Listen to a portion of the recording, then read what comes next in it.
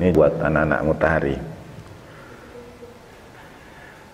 Tuhan Maha Kuasa bisa menciptakan apa pun. Apakah Tuhan dapat menciptakan benda yang abadi? Jika iya, maka Tuhan tidak kuasa karena benda tersebut abadi dan tidak bisa hancur. Jika tidak, maka Tuhan tidak kuasa karena Tuhan tidak dapat menciptakannya. Pertama, saya sejak dulu dibekali Ustaz Jalal dan saya bekali anak-anak mutahari kembali bahwa begitu banyak jawaban dihasilkan dan dirumuskan dari pertanyaan yang benar. Dan begitu banyak jawaban yang menyimpang karena rumusan pertanyaannya yang tidak benar. Sehingga dalam bahasa sederhana kata Ustaz Jalal, filsafat itu bukan dalam kurung hanya mencari jawaban yang benar. Filsafat itu adalah bagaimana merumuskan pertanyaan yang benar. Di surga ada satu sungai yang disebut dengan salsabila. Ainan fiha tusamma salsabila. Dalam surat al-insan. Kata almarhum Cak Nur salsabila itu apa? Nama sungai tapi kan Al-Quran itu maknanya dalam. Al-Quran itu mukjizat yang tidak akan pernah habis keistimewaannya. Bagi Cak Nur almarhum salsabila beliau potong menjadi dua. Sal sabilan. Apa artinya? Tanyalah jalan. Dan berulang kali ayat Al-Quran mengingatkan kita untuk mencari jalan. Fas'alu ahla dzikri kuntum la ta'lamun. Man ittakhadha ilaihi sabila dan lain sebagainya inna hadainahus sabila imma syakira wa imma kafura salsabilan itu mata air yang diperuntukkan bagi mereka yang terus-menerus berusaha untuk mencari jawaban dengan bertanya, dengan merumuskan pertanyaan yang benar. Mengapa itu penting? Saya beri contoh.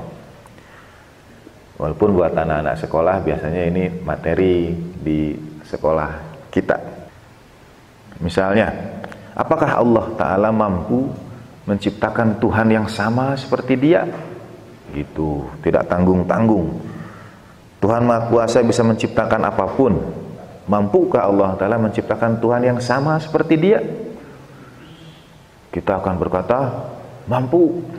Karena Allah Ta'ala Maha Kuasa atas segala sesuatu diperhatikan lagi pertanyaannya mampukah Tuhan menciptakan Tuhan yang sama seperti dia Pertanyaan itu tidak perlu dijawab. Mengapa? Karena pertanyaannya keliru. Di mana kelirunya? Mampukah Tuhan menciptakan Tuhan yang sama seperti dia? Pada kata yang sama itu ada kekeliruan. Bagaimana bisa? Karena mereka atau dua Tuhan itu dalam tanda petik tidak akan pernah sama. Yang satu yang menciptakan, yang satu lagi yang diciptakan yang satu khalik, yang satu makhluk, maka ini tidak mungkin terjadi. Mampukah Tuhan menciptakan Tuhan yang lain? Pertanyaannya keliru karena yang satu khalik dan yang lain adalah makhluk. Sampai ujung dunia pun ini pertanyaan tidak akan bisa dijawab karena pertanyaannya salah. Dan kita menghabiskan waktu kita mencari jawaban dari pertanyaan yang tidak tepat itu. Kadang-kadang kata-kata memenjarakan kita. Tuhan Maha Kuasa bisa menciptakan apa pun. Kata bisa tidak berarti harus. Kata bisa menciptakan apa pun tidak berarti harus menciptakan apa pun. Karena penciptaan itu didahului dengan irodah Allah Subhanahu wa taala. Tapi kita ikuti pertanyaan ini. Apakah Tuhan dapat menciptakan benda yang abadi? Perkenankan saya untuk bertanya, apa yang dimaksud dengan abadi? Definisikan dulu abadi itu apa? Apa artinya abadi? Nah, bisakah Tuhan menciptakan benda yang abadi? Apa artinya abadi? Artinya abadi selalu ada, memang selalu ada. Ciptaan Allah Ta'ala tidak pernah hilang, tidak pernah hancur. Dia menyempurna, ciptaan itu menyempurna. Kita mungkin mati, tapi ruh kita lanjut yang disebut kita itu diri kita atau ruh kita, tubuh kita atau ruh kita dan sebagainya. Jadi Apakah Tuhan dapat menciptakan benda yang abadi? Apa yang dimaksud dengan abadi?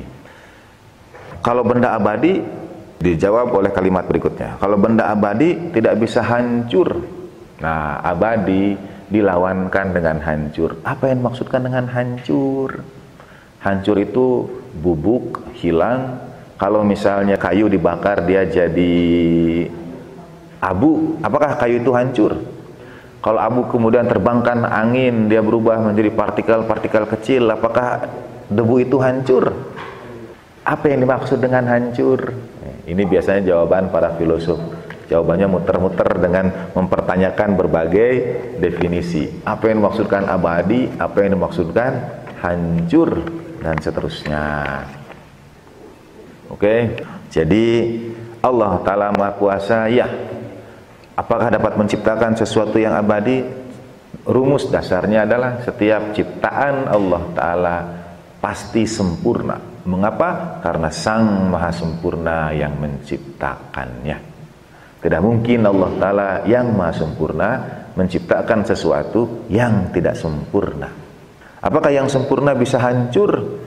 Ah, definisi sempurna, kalau bisa hancur, ya bukan sempurna tetapi ia berubah dari satu bentuk ke bentuk yang lain. Ruh kita pindah dari alam dunia ke alam kubur, alam barzah, tapi dia tidak hancur.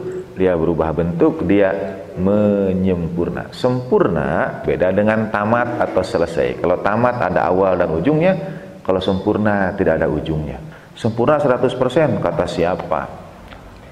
Misalnya Mutohari membedakan antara sempurna dan tamat itu. Kalau kita belajar sampai SD 6 tahun tamat. Apa pendidikan kita sudah sempurna? Kita akan menjawab belum. Lalu lanjut SMP, SMA tamat. S1, S2 tamat, tapi pendidikan sudah sempurna? Kita pasti jawab belum. Nah, ada perbedaan. Jadi semua yang Allah Taala ciptakan pasti sempurna dan semuanya abadi dalam tanda petik dengan makna abadi yang artinya terus bergerak menuju tingkat kesempurnaan yang lebih tinggi lagi. Mudah-mudahan menjawab pertanyaan.